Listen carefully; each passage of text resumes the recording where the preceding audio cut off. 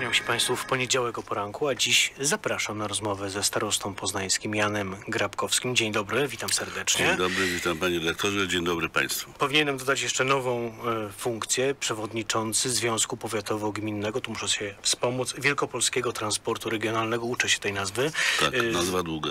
Nazwa długa, gorzej z e, ilością gmin, które przystąpiły do tego związku. Ja się trochę martwię, czy taki związek ma sens, jeżeli e, tylko 23, tak, samorządy, jeżeli dobrze liczę, weszły w skład tego, tego 20, związku. 23 podmioty samorządowe z miasta Poznań, 5 powiatów e, i 17 gmin. E, ta ilość, e, no powiedzmy szczerze, to jest wynika, ona wynika z tego, że te podmioty były obsługiwane przez PKS. My w, te, w 2019 roku budowaliśmy e, byt dla utrzymania tego PKS. Żeby on w ogóle przetrwał, tak, żeby on w ogóle nie- nie kretesem. zrobiliśmy e, porozumienie międzypowiatowe. E, Gminy dały zlecenie, dały pieniądze powiatom swoim, e, a powiaty przekazały nam to zadanie do prowadzenia my przyjęliśmy prowadzenie PKS-u bo nie było wtedy innej możliwości. Ten, e, możliwość stworzenia związku powiatowo-gminnego to oczywiście i czas, i od jakiegoś czasu taka możliwość stworzenia związku. I każdy z tych podmiotów, prawie każdy, bo tam nie ma dwóch, nie płacą, płaci. No może w tym Dzięki temu, dzięki temu przeżyliśmy całą pandemię, bo trzeba było ponad, pra- ponad 9 milionów dopłaty do funkcjonowania Żeby. PKS, y, na chwilę zrobię pauzę. Zacznijmy Mhm. jeszcze może raz tę rozmowę. Powinniśmy powiedzieć, dlaczego właściwie powstał taki związek, jaka jest potrzeba, y, bo tak naprawdę w tle są cały czas białe plamy komunikacyjne w Wielkopolsce.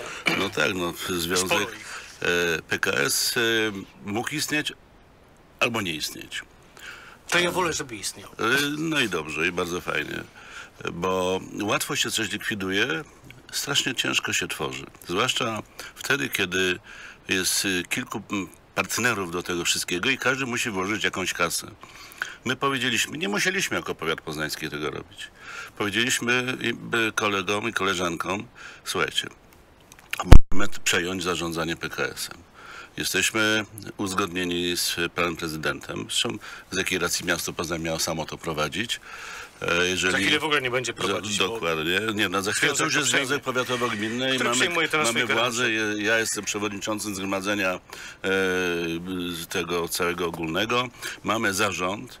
E, Szefem zarządu jest Piotr Hojan, burmistrz Grodziska Wielkopolskiego. Ma fajnych ludzi, był i też mój I zastępca. to jest jedno z tych miejsc, gdzie jest dużo i planów oni właśnie mają decydować, tam ma się dziać to wszystko, Mhm. co będzie związane z, z, z tym wielkopolskim transportem regionalnym. Panie starosto, czy to, powtórzę, ma sens? Bo mamy tak, mm, 31 powiatów w Wielkopolsce, 226 gmin, przystąpiły 23 podmioty, a ten związek opiera się na tym, żeby objął całą Wielkopolskę, żeby wreszcie ludzie mieli, nie mieli daleko od szosy, bo, bo cały czas tych, tych, tych y, miejsc jest dużo, prawda, gdzie nie dojeżdżają. Związek będzie obsługiwał prawie 5 tysięcy kilometrów kwadratowych. Ponad 500 miejscowości jest do obsłużenia. Dzisiaj jest 200 paręnaście, które obsługuje. To i E, tak będzie jedna trzecia? No, mamy ponad, populację ponad miliona mieszkańców do obsłużenia. Warto. Panie doktorze, drodzy Państwo, Pewnie, że warto. Przecież są ludzie, są miejsca i są ludzie, którzy nie posiadają własnego samochodu, ale potrzebują dojechać do szkoły z dzieckiem, potrzebują do szpitala, do, do, do, do lekarza, e, no cokolwiek. Dlaczego mają być wykluczeni? E, Tak jak wykluczenie cyfrowe, tak jest wykluczenie transportowe. Jeżeli jesteśmy w XXI wieku i stać nas na różnego rodzaju fanaberię, to uważam, że nas, samorządowców, którzy zarządzają no nie, nie własnymi pieniędzmi, tylko pieniędzmi powierzonymi przez naszych podatników. Powiedzieć, ok, część z tych pieniędzy dofinansowujemy ten transport, żeby, żeby było wyrównane szanse. Zgadzam się. Czemu część samorządów nie chce iść taką mm, drogą myślenia, jaką pan w tej chwili prezentuje? Ja przeszedłem pewnego rodzaju ewolucję w myśleniu e, i jak do mnie dotarło, że przecież ja to nie są moje pieniądze. Gmina, powiat to nie biznes prywatny, tylko to jest zarządzanie publicznym pieniądzem. I ja muszę powiedzieć, dlaczego tak chce zrobić. Muszę przekonać ludzi do tego. Wydaje mi się, że to od 30 lat chyba dobrze robię, bo mnie ciągle wybierają. E, myślę, że w ten sposób można by było popatrzeć na wiele zdarzeń w naszym kraju. E, Tu w przypadku tego transportu, wielkopolskiego transportu regionalnego mamy wsparcie wszystkich sił politycznych, także w naszej Radzie. Czyli jest tak zwana wola. I Jest wola, ja rozmawiałem z paroma osobami, a zwłaszcza z szefostwem. Powiedzieli absolutnie tak, to jest dobry kierunek, wspieramy. To I teraz ja tylko też jeszcze kwestia- jedno chcę powiedzieć do tego, bo to, że zrobiliśmy ten transport regionalny, to jest jedno. Dzisiaj będziemy walczyć o następne środki i tu też będę się uśmiechał, ponieważ tak, musimy pozyskać środki zewnętrzne e, na e, rewitalizację taboru. Musimy Tabor kupować nowe jest do autobusy wymiany do wymiany, no tak. I musimy, pamiętajmy, że już. każdy kilometr Niestety on jest obarowany określonymi y, obostrzeniami. Ma, do, może dostać 3 zł do jednego, transport, może- do 3 zł do jednego wozokilometra. Chciałbym, żeby tego jak, było na, jak najwięcej. To gdzie pan będzie Minister pieniądze? do pana ministra Webera, ale myślę, że będę też korzystał z niektórych pomocy. Będzie pan próbował namówić innych samorządowców w Wielkopolsce do przystąpienia. Wiem, że to jest kwestia tego wkładu, o którym pan mówił. Każdy musi się dołożyć. Ja podejrzewam, że to jest główny powód, dla Panie którego... redaktorze, A niektórzy będzie- mają własny Będzie sukces, jeszcze. sami przyjdą, bo to tak wygląda. Jak jest sukces, to wszyscy jak do ćma do ognia. A bym chciał mieć ten sukces. Stary, stary samorządowiec przez pana przemawia. To wszystko rozumiem, ale powiedzmy to mieszkańcom. Oni chcieliby się dostać, a włodarz ich miejscowości mówi, a ja się nie powiem dołożę. tak, ja to, to samo było z koleją metropolitalną. No więc Powiedzieliśmy, nie będziemy się się zatrzymywać, twardo. Twardo. Więc mamy takie gminy, które y, gdzieś dalej, nie, nie w powiecie poznańskim, które mówią, okej, to my płacimy za nich. Wasza wola.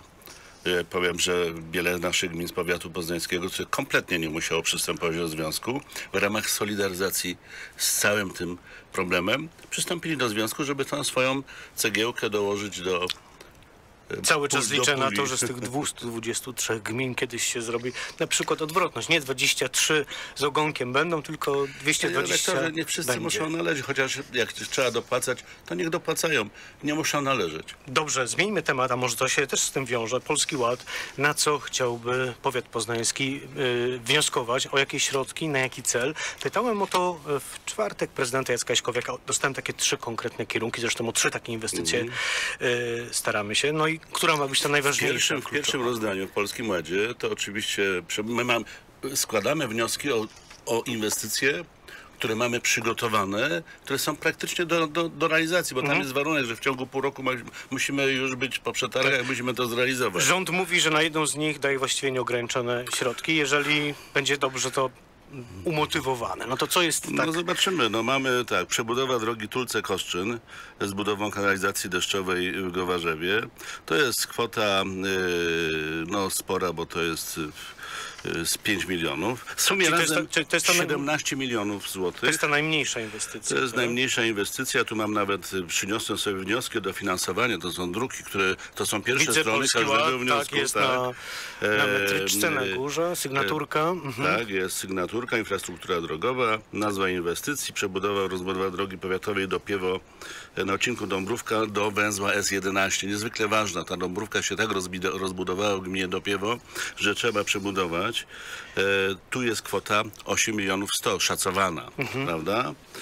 E, następna to jest e, rozbudowa, przebudowa drogi Otuskiej w Buku na odcinku od Sportowej w Buku do Jana Pawła II Wielkiej Wsi. Też niezwykle ważna e, inwestycja i to jest mi 4 miliony 200. No i ta, którą powiedziałem, ta siekieracka. drogowe. To są drogowe inwestycje, które mamy zapisane i które są, funkcjonują w naszym systemie.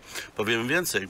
Nie tak dawno pan wojewoda ogłosił nabór na Fundusz Dróg Samorządowych i już mamy dwie drogi do włożenia tam do, do wniosku. To jest droga Tulce-Koszczyn, e, to jest droga To jakby poza konkursem polskoładowym. Poza, tym poza ogólnym, konkursem tak? nie Tulce Koszczyn, tylko droga, to jest niezwykle ważne. Napachanie Złotkowe i Rokietnica Żydowa, one się kończą w Rokietnicy takim Znam- podwójnym zna- rondem. znam te drogi. Podwójnym rondem zwanym przez nas okularami.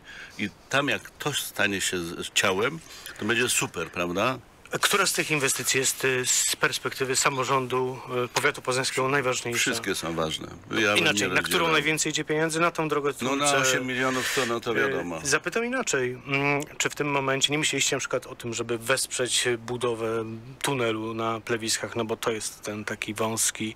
No, tunel w Plebiskach ma swoje finansowanie. Jest to już w tej chwili redaktorze. całkowicie- Ono ma swoje tak. finansowanie. Walczyliśmy o ten tunel w Plebiskach x lat. Niech to się zacznie Wnioski wreszcie. jeszcze za czasów pana prezydenta Grobelnego. To ma historię dziesięcioletnią. No tak, I właśnie. zbudowaliśmy na tej bazie, że e, on miał w ogóle inny program. e, Zdobyliśmy środki finansowe od pana marszałka. Współfinansujemy to z miastem Poznań. Inwestycja wartości 100 milionów złotych będzie zrealizowana. Musi być do połowy e, 23, najpóźniej zrealizowana. Panie starosto, to 23. umówmy się tak.